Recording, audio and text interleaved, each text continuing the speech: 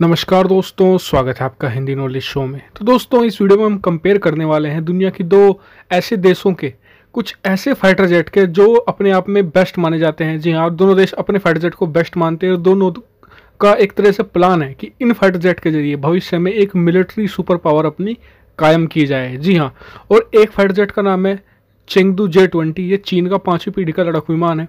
और दूसरी तरफ़ है अमेरिका का F thirty five Lightning two fighter jet जी हाँ दोनों के बारे में पूरी डिटेल से कंपेयर करने वाले हूँ मैं आपको स्क्रीन पर दिखाता भी रहूँगा दोनों की स्पेसिफिकेशन और जिससे कि आप अच्छे से समझ पाएँ और साथ ही एंड में, इस वीडियो के एंड में हम इन दोनों को एक तरीके से एक कंक्लूजन निकालेंगे कि दोनों में आखिर किसमें सबसे बड़ा, सबसे ज़्यादा दम है और किसमें ये ताकत है कि वो एक दूसरे को गिरा सके। जी हाँ और साथ में ये भी देखेंगे क्या दोनों ही फुस तो नहीं हो जाते? जी हाँ ऐसा भी हो सकता है, इसलिए वीडियो को एंड तक ज़रूर देखिएगा, जिससे कि आपको सारी चीज़ें वीडियो का सार आपको एंड में ही मिलेगा। चलो, उस वीडियो को हम शुरू कर लेते हैं।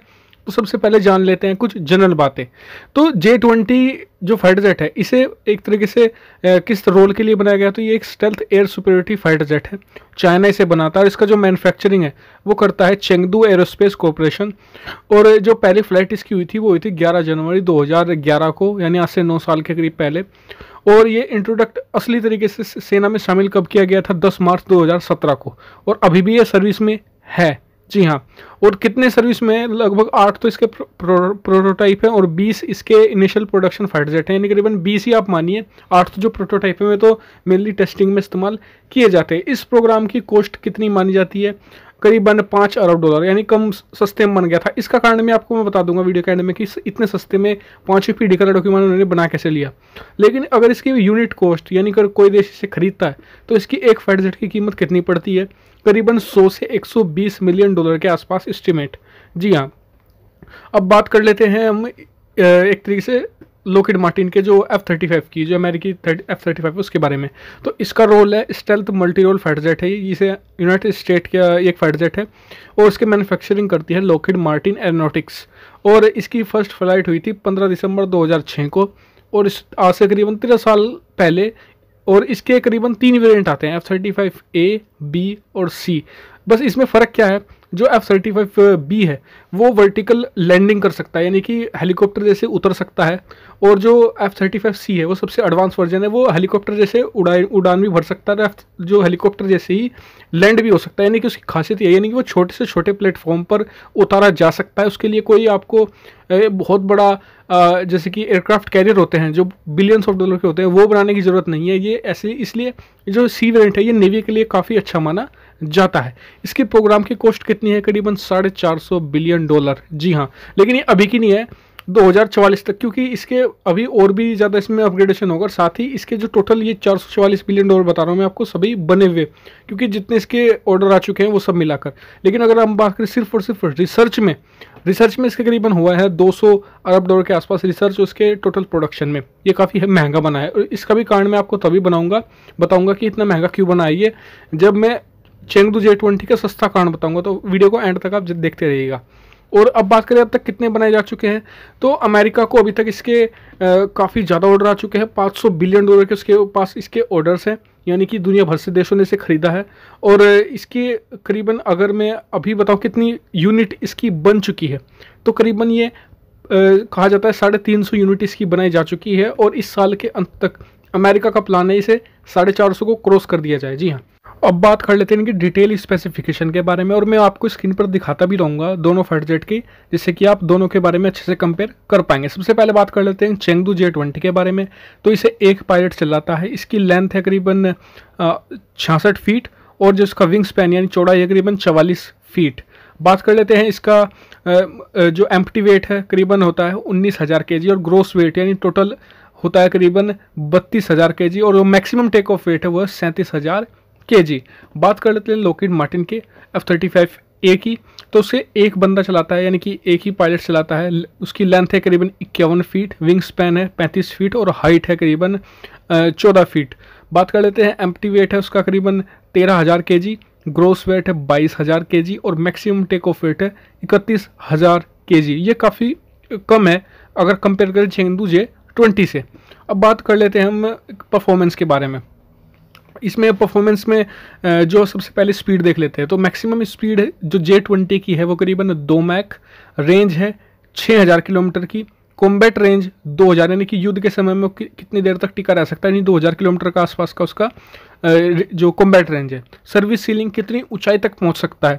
छियासठ हज़ार फीट की ऊंचाई तक जे ट्वेंटी पहुँच सकता है। अब बात कर लेते हैं एफ़ थर्टी फाइव की परफॉर्मेंस की। तो इसकी बात करें तो ये एक जो इसकी मैक्सिमम स्पीड है वन पॉइंट सिक्स मैक है। जी हाँ और जो रेंज है इसकी करीबन अट्ठाईस सौ किलोमीटर, जो काफ़ी कम है मेरे हिसाब से। एक इस तरह के फटजेट के लिए कॉम्बेट रेंज इसकी है करीबन साढ़े बारह सौ किलोमीटर के आसपास। और बात कर लेते हैं अब जिसकी सिर्फ़ सीलिंग की, यानी कितनी ऊंचाई तक पहुँच सकता है, करीबन पचास हज़ार फीट की। जी हाँ लेकिन इसका कारण क्यों है? इसकी परफॉर्मेंस जे ट्वेंटी के हिसाब से लो क्यों है? क्योंकि इस जो इसका इंजन है, वो सिंगल इंजन है और जो जे ट्वेंटी का इंजन है एक तरीके से डबल इंजन है। मैं उसका भी आपको बता देता हूँ। जो जे ट्वेंटी में लगे हुए हैं, दो, एक, जो दो इंजन लगे हुए हैं डब्ल्यू एस टेन बी ये रशियन इंजन है। जी हाँ ये रशिया की रशिया से उधार लेकर एक तरीके से बनाया गया इंजन है, लेकिन इसकी परफॉर्मेंस जैसी एक तरीके से शो की जाती है, वैसी इसकी है नहीं। और इसी इंजन की वजह से इसे पूरी तरीके से स्टेल्थ भी नहीं कहा जाता। कारण मैं आपको बता देता हूँ क्योंकि इस इंजन को जो स्टेल्थ कोटिंग के अंदर नहीं रखा जा सकता, क्योंकि काफ़ी बड़ा इंजन है डब्ल्यू इंजन, और इसी वजह से ये रडार पर इसका क्रॉस सेक्शन बहुत ज़्यादा हो जाता है एफ़ थर्टी फाइव के मुकाबले। यानी कि रडार की, अगर सिंपल सी बात बताऊँ मैं आपको रडार में पकड़, अगर कोई देश दोनों साइड बाई साइड उड़ रहे हैं तो कोई भी देश जे ट्वेंटी को पहले पकड़ लेगा एफ़ थर्टी फाइव के मुकाबले, क्योंकि एफ़ थर्टी फाइव का जो इंजन है, वो इसके शेल के, जो एफ़ थर्टी फाइव का शेल है, उसके अंदर फिट होता है, जबकि ये बाहर की तरफ़ निकला हुआ था इसलिए इसे पकड़ा जा सकता है आसानी से। अब बात कर लेते हैं, इसलिए इसे इतना अच्छा स्टेल्थ फाइटर नहीं माना जाता। अब बात कर लेते हैं इसमें हथियारों के बारे में। तो आर्मामेंट के बारे में बात कर ले तो इंटरनल बे होते हैं दोनों फाइटर में। एक्सटर्नल बे भी होता है, लेकिन पहले इंटरनल बे क्योंकि अगर हम बात करें पांचवी पीढ़ी के स्टेल्थ फाइटर की तो स्टेल्थ तभी रहेगा जब उसमें इंटरली मतलब कि अंदर की तरफ़ इंटरनली एक बे होते हैं यानी कंपार्टमेंट वो शेल होता है, जिसके अंदर फाइट जो हथियार रहते हैं। तो कौन कौन से इंटरनल बे में लगते हैं? एफ़ थर्टी पहले जे ट्वेंटी के बारे में बात कर ले तो इसमें पी एल सीरीज़ की टेन ट्वेल्व फिफ्टीन और ट्वेंटी वन जो मिसाइलें हैं, वो लगी रहती है। इसके अलावा एल एस सिक्स मिसाइल लगी रहती है, यानी कोई खास मिसाइल नहीं है। चीन ने खुद ही डेवलप की और आप सभी जानते हैं चीन की क्या क्वालिटी है। और इसके अलावा अगर एक्सटर्नल यानी अगर कहीं ऐसा भी हो कि भाई एक्सटर्नल यानी बाहर की तरफ़ ही हथियार लटका कर ले जाए तो इसमें चार मिसाइलें ही लगाई जा सकती हैं, यही पी एल और एल एस सीरीज़ की। अब बात कर लेते हैं लोकेट मार्टिन की। तो लोकेट मार्टिन का जो एक तरीके से जो हथियारों के मामले में काफ़ी आगे है। मैं आपको बता देता हूँ क्यों। क्योंकि इसमें ए एम सीरीज़ की 120 ट्वेंटी और ए एम सीरीज़ की 9x sidewinder A M series की 132 thirty two S RAM missile, इसके अलावा कहा अभी इसमें टेस्टिंग चल रही है एम बी डी ए की मीटियोर मिसाइल की, जो ब्लॉक फोर वाली मिसाइल हैं। इसके अलावा एयर टू सरफेस वाली मिसाइल इसमें A G M A G M की बहुत सारी मिसाइलें इसमें लग जाती हैं। इसके अलावा स्पेयर की थ्री लग जाती है। जॉइंट एयर टू ग्राउंड मिसाइलें इसमें लग जाती हैं। जॉइंट स्ट्राइक मिसाइल लगा जाती हैं।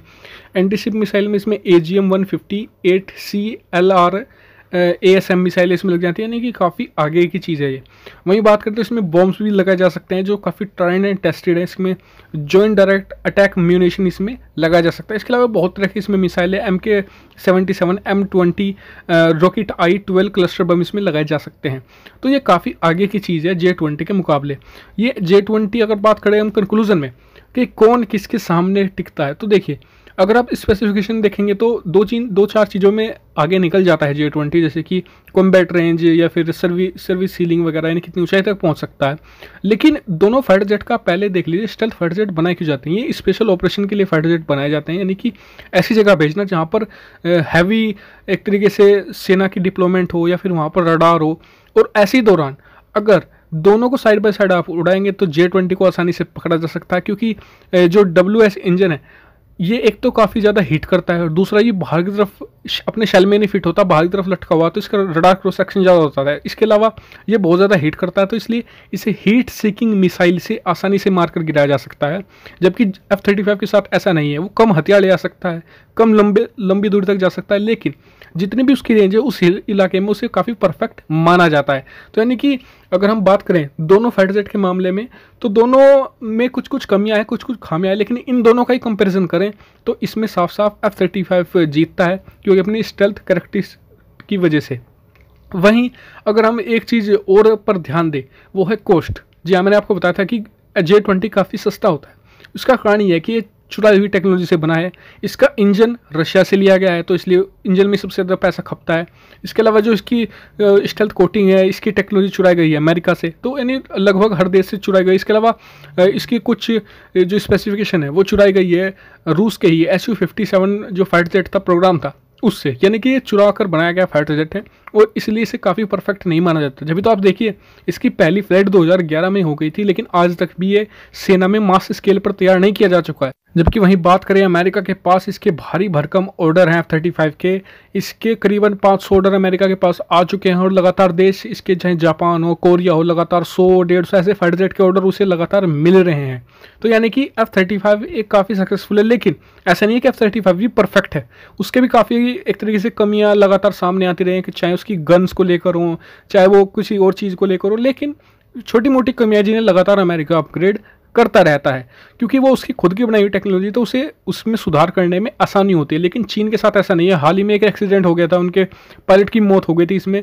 यानी कि अभी भी, हालाँकि चीन ने दुनिया के सामने कह तो दिया कि पूरी तरीके से तैयार है कॉम्बैट रेडी है, लेकिन असल कॉम्बैट में ये काफ़ी बुरी तरीके से फेल रहा है। चाहे वो रशिया के साथ हुई हुई उनकी एक जॉइंट एक्सरसाइज हो, उसमें फेल रहा है। तो यानी कि ये इतना सक्सेसफुल फाइटर जेट नहीं रहा है। और इसे कहा जाता है कि ये जो एक तरीके से 10-15 साल पहले जो अमेर, चीन ने एक प्रोजेक्ट स्टार्ट किया था अमेरिका पर जो उसकी फाइटजेट की जो फ्लीट है, उस पर जीत हासिल करने के लिए, वो पूरी तरीके से फेल करने का, जो पूरा श्रेय जे ट्वेंटी को ही दिया जाता है। तो दोस्तों, ये था मेरा एनालिसिस आपको कैसा लगा? कमेंट करके ज़रूर बताएगा और मैं कोशिश करूँगा कि रेगुलर मैं ऐसे एनालिसिस इस चैनल पर डालता रहूँ, ताकि आपको ऐसा कंटेंट मिलता रहे। तो दोस्तों, फ़िलहाल तो इस वीडियो में इतना ही। इस वीडियो को लाइक करना शेयर करना हाँ चैनल को सब्सक्राइब करना बिल्कुल मत भूलना। मैं आपके लिए ऐसा कॉन्टेंट लाता रहूँगा। Thank you very much for watching video दोस्तों।